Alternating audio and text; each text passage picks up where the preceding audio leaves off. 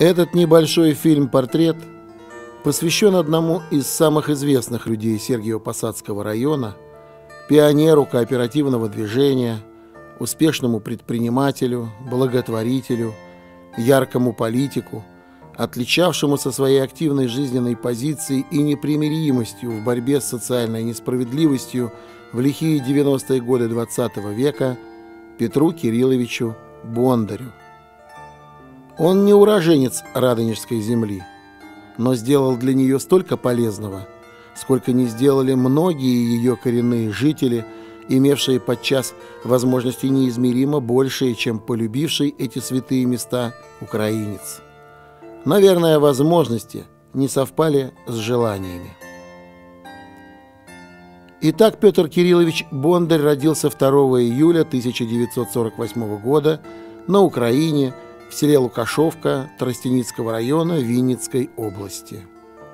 Выходец из простой крестьянской семьи, учась в вечерней школе, он уже в 15 лет зарабатывал на хлеб тяжелым трудом шахтера в Донецке. Характер и силу духа проявил молодой парень и на службе в армии. При обороне рубежей нашей Родины в Хабаровском крае на Даманском полуострове во время известного советско-китайского вооруженного пограничного конфликта он получил серьезное ранение. Как особо отличившегося, его направили на лечение в Центральный военный клинический госпиталь города Пушкина Московской области, где и комиссовали. В госпитале он остался работать техником-электриком, будучи коммуникабельным – с хорошим чувством юмора, познакомился со многими интересными и влиятельными людьми, один из которых пригласил рукастого и сообразительного парня на работу в Москву, на фабрику по ремонту и изготовлению мебели. Он прошел путь от простого приемщика до начальника цеха.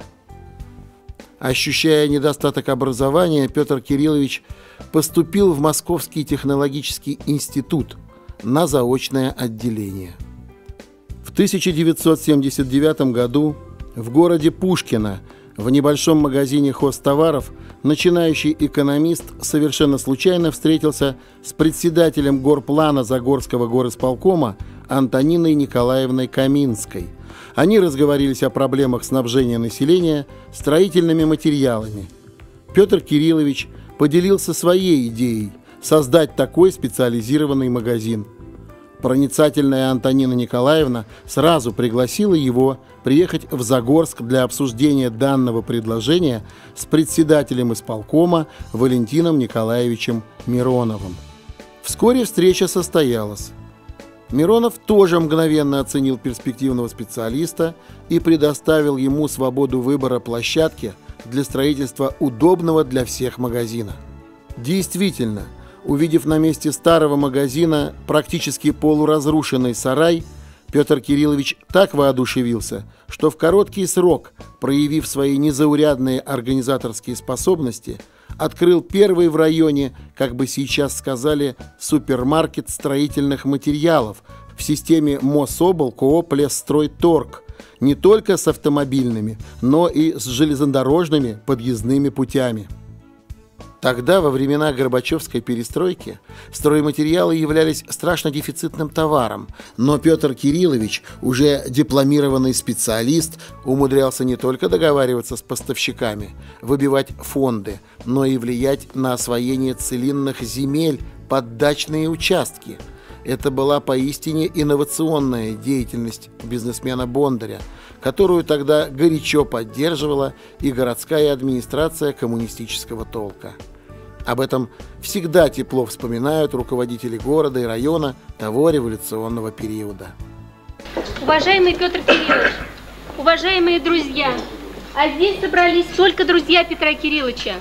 Я помню его 20 лет назад, каким он пришел к нам молодым, высоким и стройным. Да. Действительно пришел в сарай, ничего не было. А тогда начиналось движение за подъем сельского хозяйства, садово-огородническое развитие пошло, индивидуальное строительство. И вот я не побоюсь сказать громких слов, с Петра Кирилловича все началось. Он добывал фонды, мы распределяли их. И вы знаете, это шутка, но если говорить серьезно, он действительно внес очень большой вклад дело строительства в Сергиево-Посадском, тогда в Загорском районе, э, индивидуального строительства и садового строительства. И вы знаете, нет, наверное, здесь ни одного человека, которого он не похож. Ну вы посмотрите, даже здесь какая сидит армия, да? И представьте, это весь город, район шел к нему. И у него для каждого находилось доброе слово. Кому он не мог помочь в настоящее время, он обещал и выполнял свои обещания. И мне хотелось, Петр Кириллович, сегодня сказать большие слова благодарности. Вот за то, что ты делаешь для всех людей в этом районе самые добрые дела. Ты всегда имел возможность, самое главное, вот он был направлен на то, чтобы сделать добрые дела для жителей Загорского района том числе и для приезжающих на территорию Загорского района. Я всегда это помню. И помню вот твое маленькое опекунство на всех уровнях. Твое доброе отношение. Не останавливаясь на достигнутом, успешный предприниматель Бондарь в середине 80-х прошлого столетия организовал и возглавил уже свое предприятие – производственно-хозяйственную ассоциацию «Золотое кольцо», позже преобразованную в закрытое акционерное общество. Учредил торговую фирму «Строим дом». Когда сказал, что у нас будет ассоциация «Золотое кольцо», и положил на стол первые учредительные документы, я не смогла ему сказать, что он великий фантазер и выдумщик. И не могла предположить, что через, буквально через полгода это будет мощная, сильная, э, полноценная организация, способная создать и творить очень много. Вот, видимо, за все за это его и любят. Вдохновленный и окрыленный приятными заботами по развитию своего производства, Петр Кириллович Бондарь встретил в Загорске и свою действительно вторую половину, как в Онегине у Пушкина, свою Татьяну.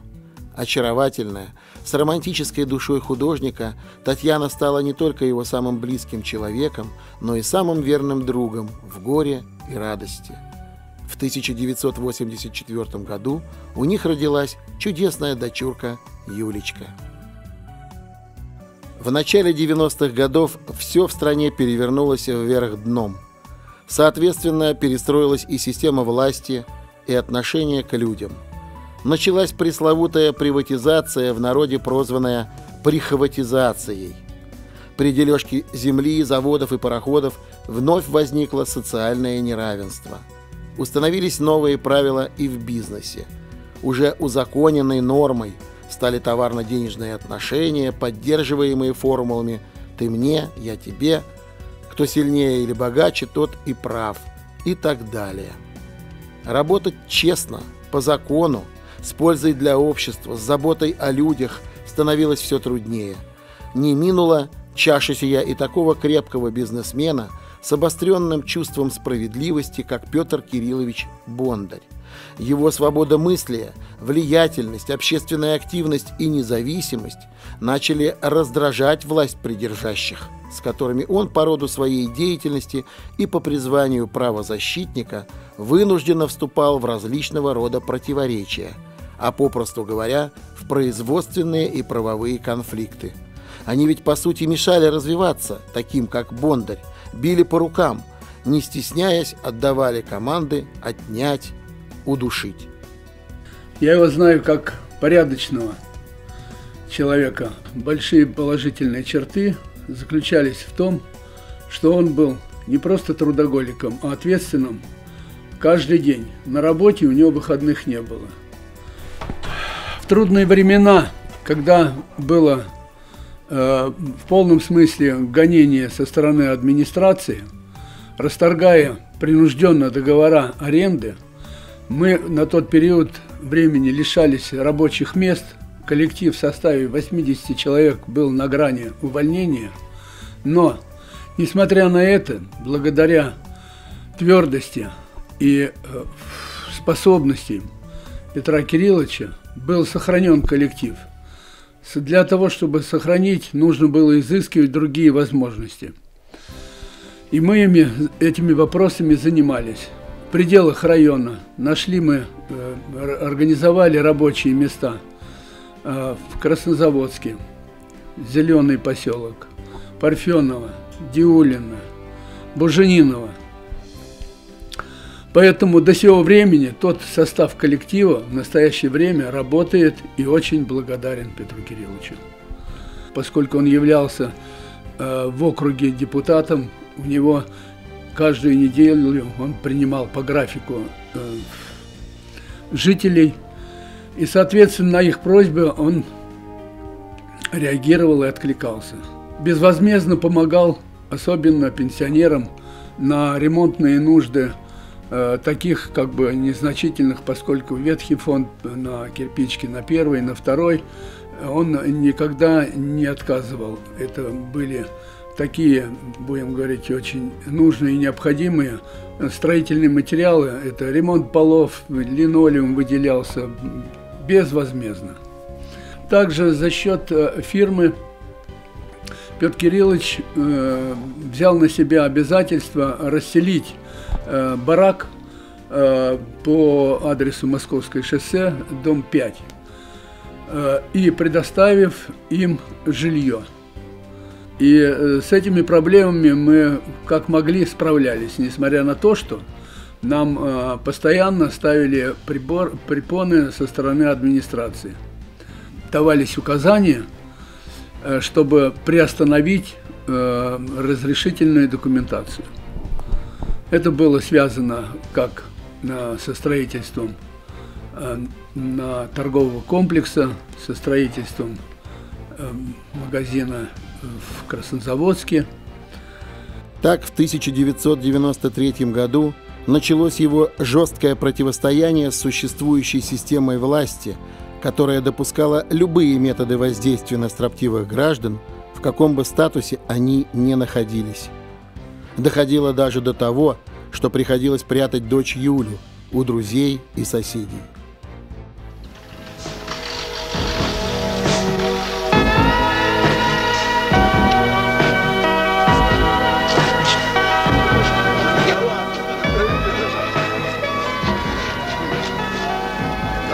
Воняет тюрьму.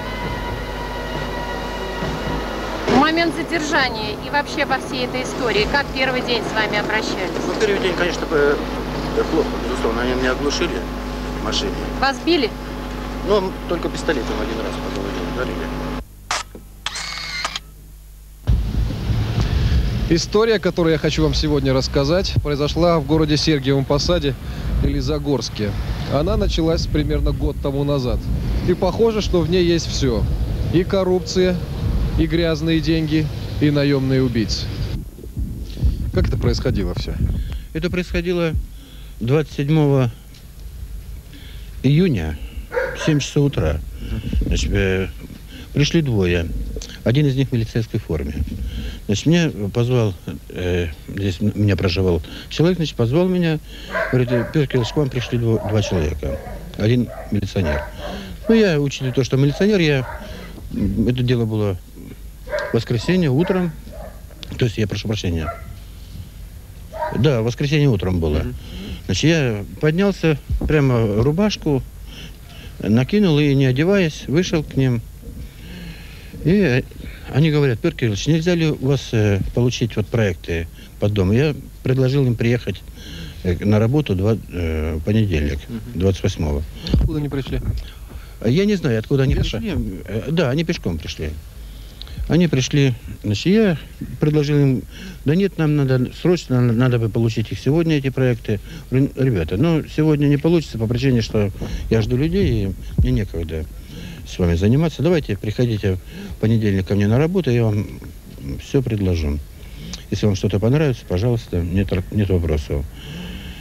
Ну, здесь они напористо, ну, давайте все-таки поедем. Я говорю, вы мне надоели уже. Я прикрываю калитку в этот момент, один вырывает калитку на себя, э, который в милицейской форме, выхватывает нож, бьет меня ножом, я подставил руку, он пробил мне здесь руку, пробивает руку, бьет меня ногой, падаем. Значит, он мне еще несколько раз ножом бьет сюда. Но мне все-таки удалось выхватить у него нож, здесь вот палец, Порезали. Порезал, да, мне. Значит, я выхватил у него нож, и я оказался с ножом. Второй побежал с ножом на, на этого человека, который был у меня. Ну, он, тот сильно начал кричать. На крик выскочила жена тоже. э, выпустила собаку, собственно, что помешало им нас э, дорезать. За мою, так сказать, практику, это первый случай, когда мы имеем дело с наемным убийством. А, То, что оно было наемное, это, в общем-то, сейчас уже доказано. Попытка убийства. Да, попытка убийства. Но дело в том, что оно было возбуждено как попытка убийства через 15 статья 102. Им указали на жертву. А, Это один из, значит, деловых людей нашего района, значит, который, ну, еще в застойные годы, будем так говорить, уже был, так сказать, достаточно заметен э, вот в экономической жизни города, района. Ну и, значит, почему именно его выбрали? Еще, значит, это предстоит следствию, наверное, установить. Так они теперь задержаны, да? Да, у нас задержаны пять человек. Им предъявлено обвинение, они арестованы По какой статье? по статье 15, 17, 102 пункты З и Н. Это что, расшифруйте, пожалуйста. Это покушение на у- со- соучастие в покушении на убийство. Пытавшиеся убить Бондаря проживают в Нижегородской области. С виду отнюдь не головорезы. В интересах следствия мы не можем их показать и назвать их имена, равно как и имена тех, кто оплачивал их услуги. Я выписался с госпиталя и узнаю, что сразу же после выписки из госпиталя, значит, э, из РОП, из РОП э, поступила э, значит, просьба, значит, чтобы меня взять на прослушивание. Причина, причина, значит, одна была. Значит, дескать, я связан с бандой. Какой банды? Э, С какой э, бандой? Называется банда, значит, э, э, Лига бокса. Значит, я э, никакого отношения к, к этим людям никогда, так сказать, не имел. Значит, ну, называет мне фамилию. Лига бокса это известная вообще банда, да. Лига бокса известна, значит, называет фамилии, но я, эти фамилии мне, собственно, ни о чем не, не говорили и так далее. Я, естественно, значит, э, значит, ну, э, собственно, вот э, поводом для того, чтобы меня включить на прослушивание моей телефона, вот послужило, значит, э, вот это письменное письмо, значит, в областную прокуратуру. Это произошло 27 августа. Петр Бондарь ехал в офис на своей служебной белой шестерке. Внезапно его блокировали два автомобиля. Люди в штатском с оружием в руках. В первые секунды Бондарь подумал, что это очередное нападение. Потом понял, это арест. Ну и в этот э, момент начинается у меня обыск. Вытаскивает меня с правого кармана предмет. Ну, желтая ручка объявляет, что это мелкокалиберный пистолет. Ничего подобного никогда я в руках не держал. Это стреляющая ручка, огнестрельное оружие сделано под э, авторучку, да? Да, под авторучку э, мелкокалиберный патрон. Вы первый раз видели в Я жизни? ее впервые видел, вообще в жизни никогда в руках не держал. Ничего подобного. То есть, если я вас правильно понял, вы полагаете, что вам ее Я не подложили? полагаю, э, ну, в процессе следствия, в процессе следствия, по сути дела, даже вопрос-то, по большому счету, и не возвращались к этой, этой ручке. На самом деле получилось это действительно случай нехороший. Буквально накануне была задержана группа солидная с оружием, значит, с автоматом были задержаны э, лица иногородние. И вдруг здесь э, знали уже, что на Петра Кирилловича было совершено покушение. Вот. И, в общем-то, он, он был э, в поле нашего внимания, чтобы, в общем-то, не допустить, чтобы человека в конце концов все же и привели в исполнение до конца этот приговор. Было ясно, что он кому-то мешает. И там был сотрудник МБ, который его постоянно охранял. Просто по, по счастливой случайности он не поехал с ним. И там вполне, вполне могла быть оказаться перестрелка. И погиб бы, будем так говорить. Трупы были. Погиб бы, да, сотрудники, погиб бы Петр Кириллович, по крайней мере, для меня до сих пор не ясно. А э, так уж ли важно было это задержание? И такое, э, что за преступление было совершено э, нашим потерпевшим, что, значит, понадобилась вот такая операция с таким эффектом звуковым. Задаваясь вопросом, кому понадобилось убрать Бондаря, я встретился еще с двумя известными в районе людьми. Разговор с ними навел на мысль о том, что, похоже, идет охота на неугодных людей. Но кто ведет эту охоту? Я приехал дней 15 на- с отпуска и узнал об этих событиях, что было совершено покушение на Бондаря Петра Кирилловича, что я перед этим вот нападение было, он получил ножевые ранения. И затем, э, значит, уже следствие, через следственные органы я узнаю следующую картину, что э, первая группа приехала, которая э, делала покушение на Петра Кирилловича. Затем неудавшаяся группа это уехала из города. Появляется другая группа, которая уже имеет задание устранить, ну, убить Петра Кирилловича. Добить. Добить Петра Кирилловича и меня. Однажды, э, значит, э, когда я пришел в гараж, понятие, значит, в свой гараж, у меня оказался гараж простреленным. Сам я, гараж? Сам гараж, да. Дверь насквозь, понятие, значит, пробита. Ну, я Петру Кирилловичу сказал об этом, понятие, значит. Я не криминалист, понятие, не знаю, связано ли с этим, не связано. Ну, а вообще-то, конечно, обстановка э, вот такая в районе сложная, понятие, значит. Меня больше всего в этой истории смущает не это. Меня смущает то, что вот политика перехлестнулась с уголовщиной, а уголовщина с правоохранительными органами. Это всегда было. Но оно не было так явно, как сейчас. Люди, которые не хотят разоблачений своей деятельности, они хотят просуществовать очень долго, в своем нынешнем качестве, в более высоком качестве. И они за это готовы заплатить любые деньги. Сегодня многие факты, имена и подробности остались за кадром. Только потому, что их огласка может помешать следствию. Хочется верить, и основания для этого есть, что в ближайшем будущем туман в этой истории рассеется. А пока а пока герой этой истории на свободе. Он жив и здоров. И черт побери, он улыбается так по-доброму и так заразительно. Из сложившейся ситуации прямолинейный Петр Кириллович Бондарь выбрал единственный для такого, как он, бойца путь – идти в депутаты. Только работая в законодательной власти можно влиять на положение вещей в больном обществе, лечить его, говорил новоиспеченный политик – надо признаться, это мнение разделяли многие, поэтому в своем избирательном округе Бондарь одержал безоговорочную победу. Свой депутат в районном совете появился теперь и у первого избирательного округа, в который входят Скобяной и Кирпичные поселки. Напомним, что выборы по этому округу территориальной избирательной комиссии были признаны недействительными по причине якобы проведенных сторонниками лидирующего кандидата Петра Бондаря выбросов фальсифицированных бюллетеней. По этому основанию была подана жалоба в Московский областной суд. Вчера, 18 марта, состоялось заседание суда, на котором было вынесено решение отказать территориальной избирательной комиссии в удовлетворении жалобы и признать выборы по округу действительными. Сегодня депутат районного совета Петр Бондарь дал интервью нашему телеканалу. Жалоба территориальной избирательной комиссии осталась без удовлетворения.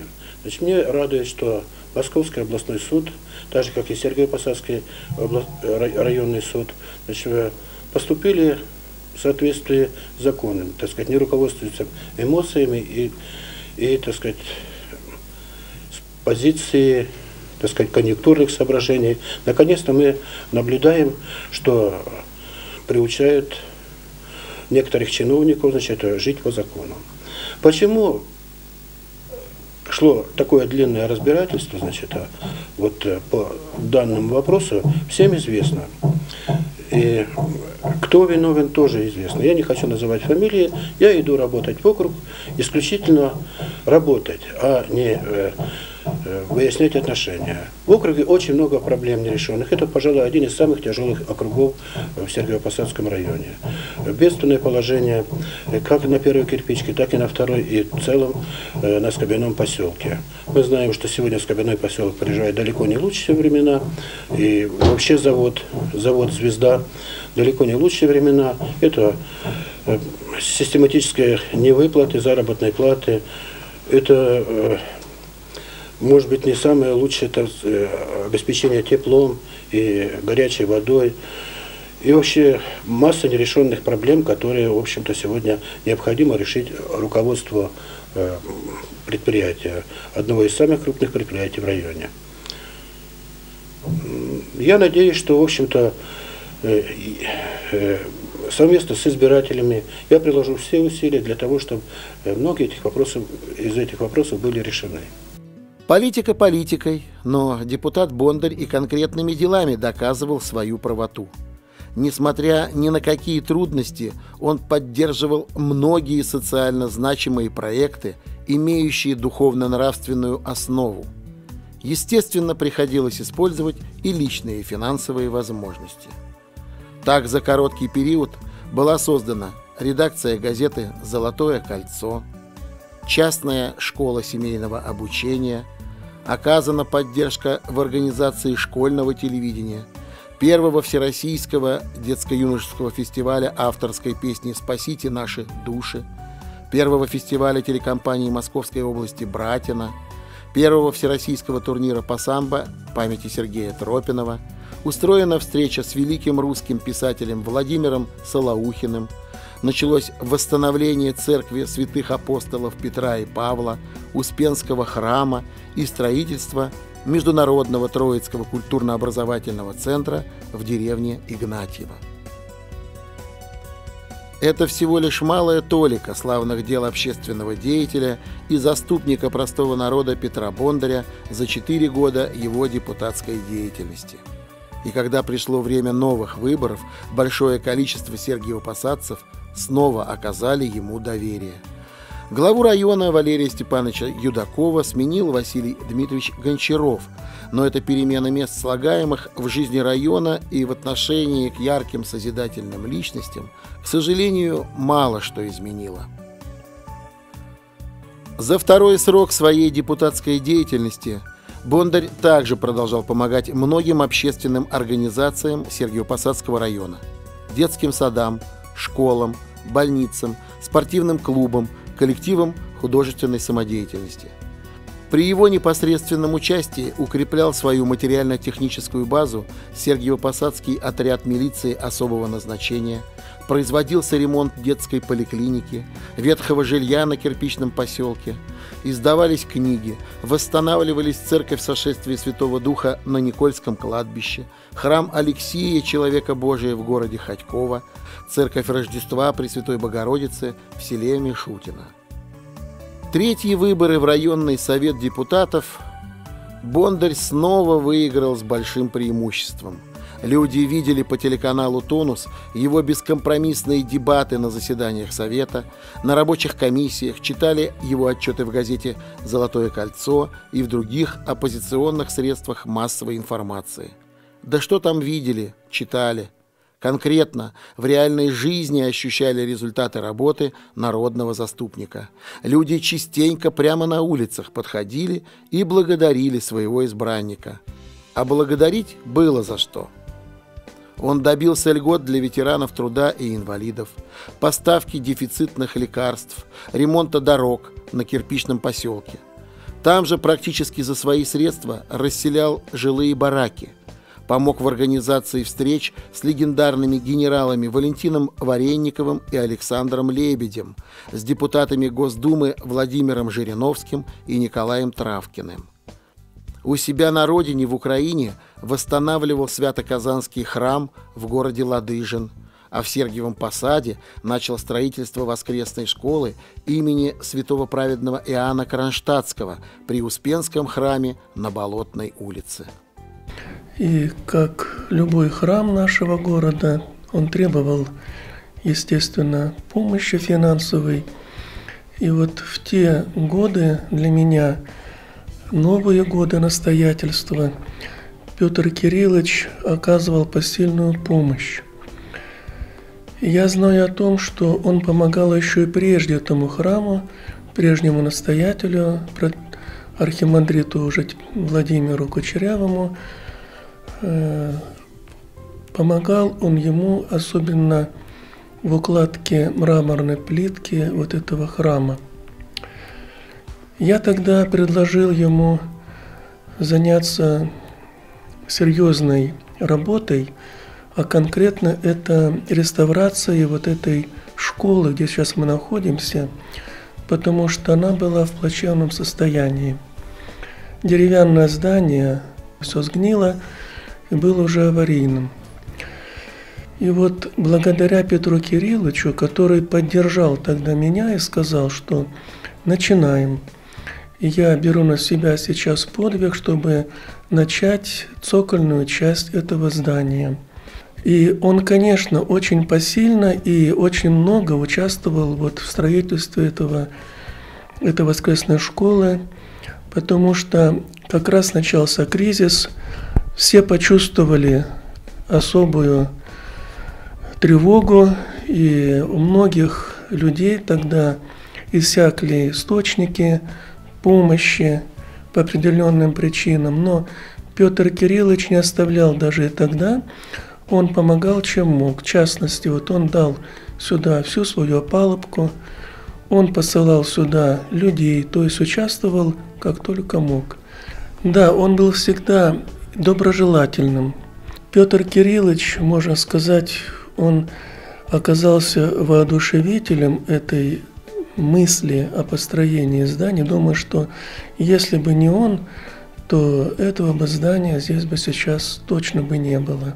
Не сдавал Петр Кириллович Бондарь позиции народного заступника, пройдя и в третий раз выборное чистилище.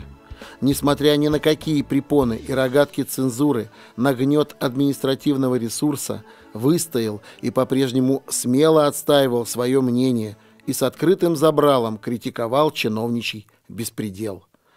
Э, как депутат это, будем говорить, общественная нагрузка, кроме дополнительных проблем, потому что а проблем на самом деле много.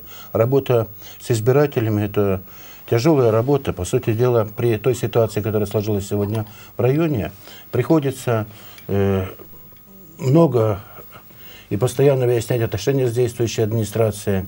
И порой, конечно, даже свои какие-то деньги, которые свободно есть, приходится тратить на э, нужды тех же избирателей. Угу. Где-то, скажем, кому-то отремонтировать там э, те же качели поставить, там горку и так далее, или с помощью обращаются какие-то школьные учреждения, э, и приходы обращаются, приходится им помогать решать те проблемы, которые, в общем-то, надо решать, и администрация за них не берется или просто не решает. Если проанализировать вот те же медикаменты, за последние несколько лет они буквально в цене выросли в разы в разы. Так что угу. э, и это говорит о том, что производители медикаментов сегодня э, как бы живут неплохо. Они жируют на нашем здоровье, на э, наших проблемах -huh. социальных. Лжа Дмитриевич, который сам это сегодня как бы числится у нас мэром, сегодня -huh. выпал пока в осадок. Значит, и да. в городе безвластия. Значит, в городе без власти, в районе без власти, значит, и по информации якобы даже у нас топливо осталось чуть ли не на 5 дней в районе. Так что, насколько это объективно, опять же, я не уточнял. Но э, то, что нынешняя власть как бы была не заинтересована, что у нас э, наконец-то в районе возникла нормальная рабочая ситуация. Угу. Ну, вы все хорошо э, знаете и осведомлены, как проходили выборы. Буквально до 28-го, только в час ночи, закончился суд, на котором, так сказать, сам это мы узнали, что все-таки выборы состоятся. Народ настолько сегодня агрессивно настроен Гончарову, это мы буквально читаем не только, скажем, это, э, а можно услышать буквально везде. Итог известен, итог известен. По сути дела идет открытый саботаж наших конституционных прав. Угу. Поэтому что может последовать за этим? И это будет правильно, я считаю, что обязательно должно быть уголовное наказание. Но так как господин Грунин, для него сегодня вот то уголовное наказание, которое он может понести от саботажа, э, выборов, сам это, оно значительно ниже, нежели то уголовное наказание, которое может возникнуть после выбора. А именно, я полагаю, если будет разбор полетов, которые они совершали с Василием Дмитриевичем на протяжении вот этих лет. Там есть вопросов намного намного солиднее вопросы и круче, понимаете, надо будет отвечать перед законом. Именно перед законом. Э, назовем вещи своими именами, не добрали еще. Еще не разграбили все, что есть в нашем районе. Я вот получаю информацию, что продан универмаг. Значит, э, это муниципальная собственность, продан универмаг. За какие деньги? Я знаю, что стоимость вот этого объекта сегодняшних, э, при сегодняшней ситуации, это нижняя планка 2 миллиона долларов. Я угу. заявляю, за сколько его продали, вопрос остается от, открытым. В 95 году, когда выставили этот универмаг, и он был на торгах, значит, один потенциальный покупатель это была наша фирма. Я сделал заявку, и когда Василий Дмитриевич узнал, что мы сделали заявку, с торгов был снят сам это, с объяснением, что для муниципалитета будет выгоднее вот этот универмаг использовать э, э, и сдавать в аренду. Угу. Петр Кириллович, у нас есть еще один телефонный звонок, давайте его примем. Д доброе утро. Алло, доброе утро. А, доброе утро. А, всех с добрым утром. А, Петр Кириллович, э, те заслуги перед районом э, с ненавистным для народа режимом, как бы ваш известен ваш вклад в это дело. Но ну, сделано еще даже не полдела, а дело-то впереди. И вы как коммерсант с большой буквы, не рассматриваете ли себя в администрации, ну хотя бы на должности э, замглавы по торговле, и до этого времени там одни крохоборы сидели. Как вы э, смотрите на этот вопрос? Я вам должен сказать, что я как бы время прошло достаточно, я в самостоятельном плавании уже еще в Советском Союзе, еще в том государстве был, и я э, привык, э, так сказать, жить по, своим, по своему режиму. По своему. Я работаю 7 дней в неделю, как правило, и без выходных. И, но, тем не менее, я, будем говорить, вольный казак, буквально 79 -го года. Значит, ну, а э, никогда у меня не возникало особого желания э, работать в администрации и э, даже, э, э, к слову, сам это, может быть, э, даже никогда не возникало желания, желания быть членом партии. И коммунистической, когда все удивлялись, как это вот руководитель такого ранга сам это, и не коммунист, значит. Ну, пришлось им объяснять, что вот это то, что я создан, это создано, так сказать, без помощи партии, при, может быть, только при молчаливом согласии партии. Я, значит, я смог все-таки в советское время достичь, так сказать, определенного уровня, но абсолютно с нуля. Конечно, он был не один – входил даже в неформальный депутатский блок народных депутатов, который ратовал не для галочки, а за реальное улучшение жизни Сергиева-Посадцев. Есть другое предложение. Сегодня не проводить совет, потому что все документы подписаны Гончаровым и так далее, и так далее, и так далее. Что не соответствует закону. Это первое. Второе. Вообще на последних советах, на мой взгляд, и, на взгляд моих товарищей, коллег, проводились тоже незаконные решения. Поддерживаю предложение Бокова Сергея Евгеньевича по простой причине, потому что тех безобразий, которые творились в районе, Ольга Васильевна прямо или косвенно, она тоже несет ответственность на протяжении вот этих всех 10 лет. Этому блоку удалось заставить и чиновников, и коллег по депутатскому корпусу более внимательно отнестись к существующим проблемам, будь то вопросы эффективности местного самоуправления, затянувшаяся процедура оформления собственности или разработка проектов западного и восточного объездов, в корне меняющих жизнь Сергиева Посада как города одной улицы. То когда строили путепровод – путепровод. Нас э, ограничили в площадях, ну, как бы вынуждены были э, территории, по нашей территории планировался прохождение путепровода. Э, Петр Кириллович э, принял решение, что отступить, дать возможность, чтобы развивался город и строили незамедлительно, э, подписал соглашение – личное не превалировало у Петра Кирилловича над общественным, нужным и необходимым делом для того, чтобы ввести, э, ввести дальнейшее строительство и вот в эксплуатацию именно вот этого тоннеля, нужного нам города. Мы взяли на себя обязательство э, обустроить э, детскую площадку э, на территории, э, прилегающую э, к, стройке. Как правдоруб он не мог себе позволить э, промолчать, если решался какой-то вопрос положительно необходимый для города и для района. Он был смелый и не боялся за свои слова и ответственный товарищ. В такие моменты Особенно помогала Петру Кирилловичу поддержка самых близких. Мой папа – это просто супергерой всех времен и народов. Папа, спасибо за все. Я хочу пожелать тебе э, крепкого здоровья, а также, чтобы ну, все твои э, мечты и желания осуществились. Что пожелать? Самое главное – здоровье. Это что самое главное. Друзей хороших. Любить, быть любимым. Хорошим отцом, хорошим мужем семьи. Естественно, самое-самое хорошее – здоровье. Пришло время молодых руководителей, людей новой формации. Василия Гончарова сменил Анатолий Упорев, возглавлявший до этого Сергиево-Посадский мясокомбинат. Грянули очередные выборы в райсовет. Для Бондаря они стали четвертыми и, наверное, самыми сложными. Имеется в виду сам рабочий период – и готовилась еще масса акций, которые, в общем-то, даже включала, значит, э, ну, имитация теракта, там, взрыв и так далее. В город должно было приехать порядка 200 человек, значит, которые должны были инсценировать беспорядки, драки и так далее.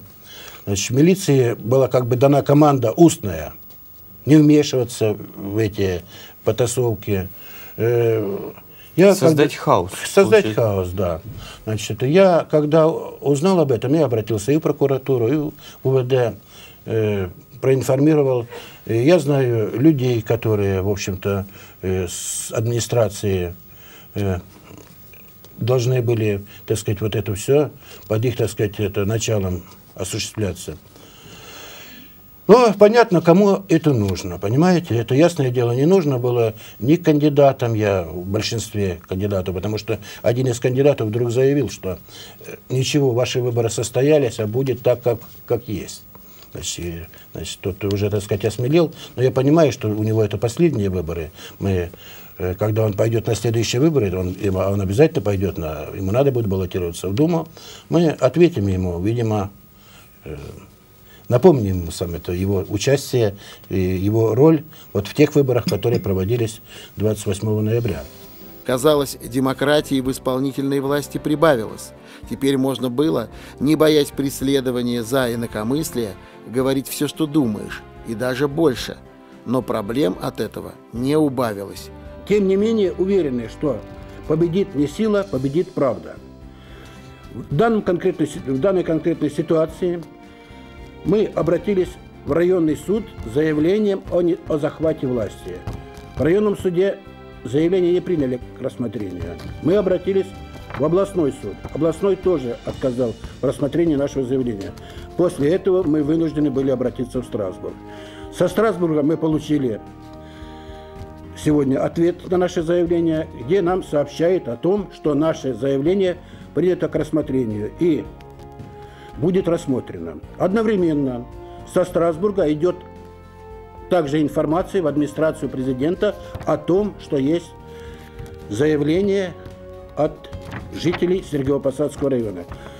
Ко всему прочему, новые государственные реформы дробили последние стержневые устои власти и экономические скрепы.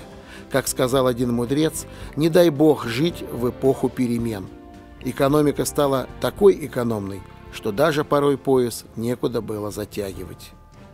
Трагической логикой в это кризисное время стал и разгул бандитизма.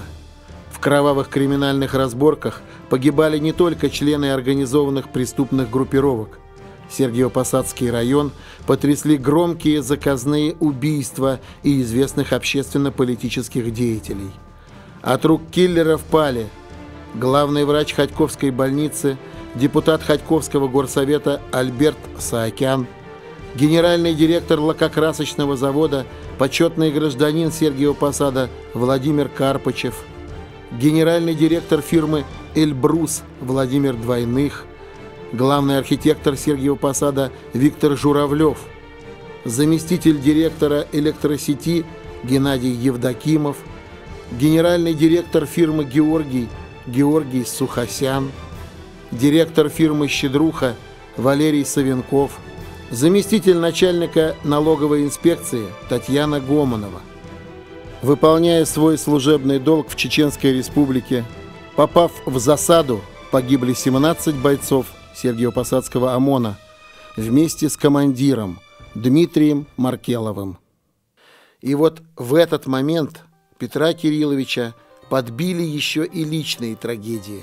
Сначала сгорел дом, а потом погибла в автомобильной катастрофе любимая дочка Юля. Нет страшнее доли для родителей, чем пережить своих детей. Весь свет стал немил, а на Бондаря, как на лидера общественного мнения, смотрели десятки тысяч его избирателей. Трудно было собраться с силами, но, стиснув зубы, Петр Кириллович выдержал и это испытание. Рядом была супруга Татьяна, и, укрепляя себя, осенью этого страшного года они обвенчались. Хочется несколько слов сказать о самих взаимоотношениях Петра Кирилловича и Татьяны Ивановны. Э, с тех пор, как я их узнал, то они стали прихожанами нашего храма. Сейчас не могу вот сказать точно, почему они именно избрали этот храм. Наверное, это было их внутреннее такое чувство. Но их взаимоотношения друг с другом было заметно всем прихожанам. Петр Кириллович не оставлял Татьяну Ивановну, знаю это честно, что часто, ведь они жили в Абрамцево, по-моему, где-то далеко, всегда за ней приезжал, и они вместе отправлялись домой. Это была прекрасная, на мой взгляд, пара, которые любили друг друга, помогали в трудные минуты друг другу. Насколько мне известно, вот, взаимоотношения были ровными, дружественными. Иными словами, вот они помогали и дорожили друг другом. По окончании четвертого срока своей депутатской деятельности Петр Кириллович Бондарь принял решение уступить место молодым и более искушенным в современной государственной системе власти политикам. объяснял все это, как и положено, правдорубу предельно ясно. Демократия в стране похоронена – я никогда не заносил и не буду заносить взятки. Как депутат я был уязвим, потому что меня всегда можно было зажать в тиски по моей производственной деятельности. Но все, что можно было делать по моим силам и возможностям, я сделал, а кривить душой не хочу и не буду. В 2010 году он покинул политический Олимп – но остался одним из самых авторитетных и уважаемых граждан Радонежской земли. Еще много успел сделать и многим помочь генеральный директор закрытого акционерного общества «Золотое кольцо», меценат-благотворитель, народный заступник Петр Кириллович Бондарь. Но в 2017 году тяжелая рана, полученная еще тогда, на Даманском полуострове все же сразила его – это стало серьезной, очень ощутимой утратой для Сергио Посадцев, которым он беззаветно и честно служил всю свою яркую жизнь. Прощались с Петром Кирилловичем в Успенском храме, который когда-то он один из первых начал поднимать из руин, где отпевали его любимую дочь Юлю, где обвенчались с женой Татьяной.